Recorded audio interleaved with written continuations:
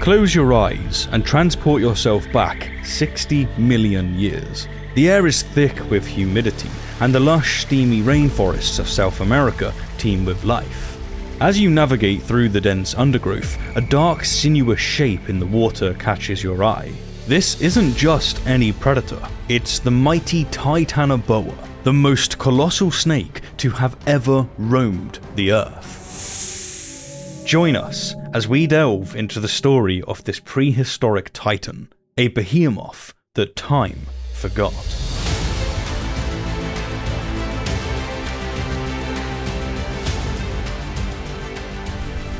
The story of Titanoboa's discovery began in 2002 in the Colombian coal mines of Cerrejón, a hotspot for fossil hunters due to its rich deposits from the Paleocene epoch. A team of researchers, including Dr. Carlos Jaramillo from the Smithsonian Tropical Research Institute and Dr. Jonathan Bloch from the University of Florida, stumbled upon some unusually large vertebrae partially embedded in a coal layer. The expedition ended in 2004, and the Titanoboa fossils, due to their massive size, were mistakenly labelled as that of a crocodile.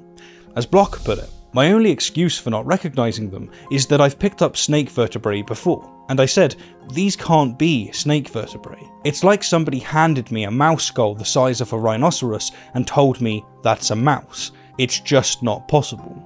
The specimens were then transported to the Florida Museum of Natural History, and it wasn't until 2009 that Dr. Jason Head and his team identified that they belonged to a new genus and species of enormous snake, naming the genus Titanoboa and the species Cerrejonensis. In 2011, a new expedition to the Cerrejón mine unearthed additional remarkable fossils of the giant serpent.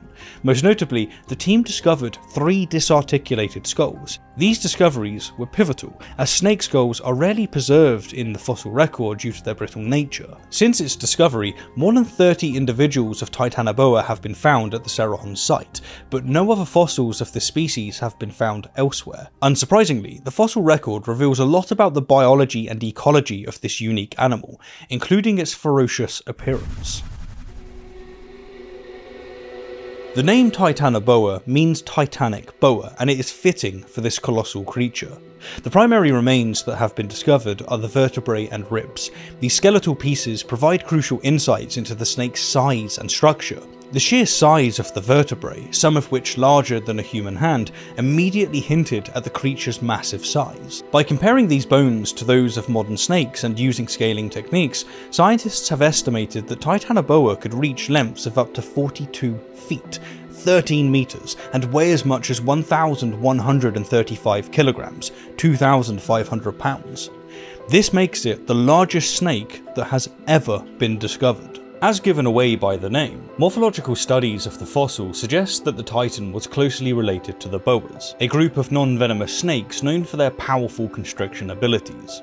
Like modern boas, this prehistoric titan likely had a robust body built for strength and quick bursts of speed, utilised to strike from ambush. Its skin may have been adorned with intricate patterns, not only aiding in camouflage, but also enhancing its predatory capabilities as it lurked in the waters of ancient South America, waiting to unleash its impressive speed and power on unsuspecting prey. Now, while the lower jaw of Titanoboa has not been directly found, scientists can make educated guesses about its structure based on a few skull pieces that they do have and comparisons to other extinct and modern species. Much like modern constrictors, Titanoboa would use its muscles to constrict its prey, suffocating and crushing it with immense pressure before consuming it. Estimations of this force can be derived from two critical pieces of evidence the impressive size of the snake's vertebrae fossils, and, you guessed it, comparisons with constriction abilities of modern boas. The largest boa alive today, the green anaconda, can constrict with a force between 6 and 12 pounds per square inch, that's comparable to the pressure of a large dog's bite. In contrast, Titanoboa is estimated to have had a crushing force of 400 pounds per square inch, similar to the bite force of a large alligator or the pressure of depth at 850 feet underwater. But as is often the case, many of our inferences are speculative.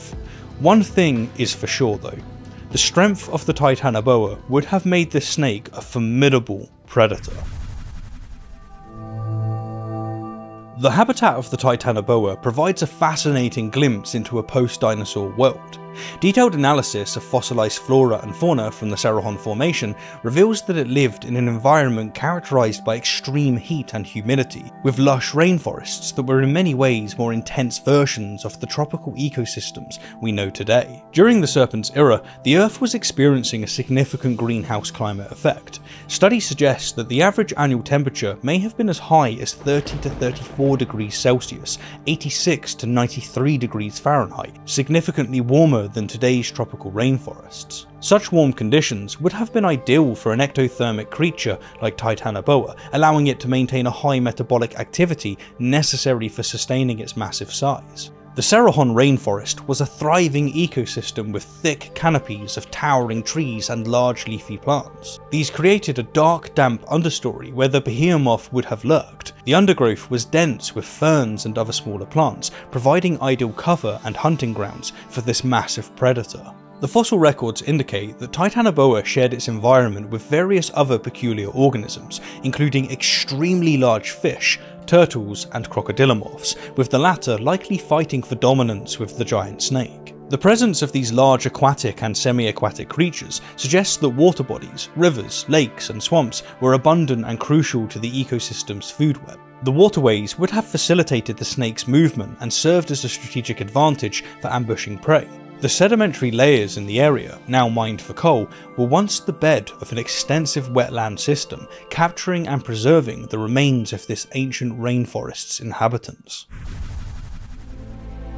The extinction of Titanoboa likely occurred during the late Paleocene, before the transition to the Eocene epoch. While Titanoboa thrived in the hot, humid climate of the middle to late Paleocene, about 58 to 60 million years ago, changes in its ecosystem or competition from other species may have contributed to its disappearance. These changes were part of the ongoing environmental shifts during the Paleocene, rather than the more dramatic changes that occurred at the Paleocene-Eocene boundary. One of the most significant changes in this period was a gradual shift in global climate. As temperatures began to cool, the once humid tropical environments in which Titanoboa thrived started to change. The lush rainforest that provided a perfect habitat for the giant snake slowly transformed into drier, more open landscapes. This changing climate and habitat likely profoundly impacted Titanoboa's survival. As the dense swampy forests it called home diminished, so too did its hunting grounds and hiding spots. The shift in vegetation also affected the abundance and distribution of its prey, making it harder for the snake to find sufficient food. Moreover, the cooling climate might have directly impacted Titanoboa's physiology. As an ectothermic reptile, it relied on environmental heat to regulate its body temperature and metabolism. The lower temperatures would have slowed its growth, reproduction, and activity levels, making it more vulnerable to competition and predation. Speaking of competition, the changing environment of the late Paleocene also gave rise to new species that could have challenged the snake's dominance. Smaller, more agile snakes better adapted to the new conditions might have outcompeted Titanoboa for resources. The emergence of new predators, such as early mammals, could have also posed a threat, especially to younger, smaller individuals. The reproductive strategy of Titanoboa could have been yet another factor in its vulnerability. Like many large reptiles, it likely had a slow reproductive rate, investing considerable energy into producing a limited number of offspring.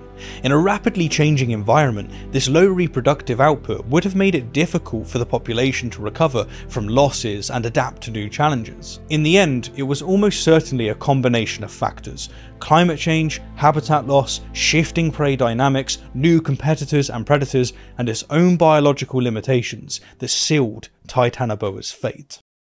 Thanks for joining me, my fellow apes, on this expedition into the extinct. If this glimpse into bygone biodiversity intrigued you, don't forget to subscribe and hit the notification bell as we continue to explore more of the fascinating world that once was.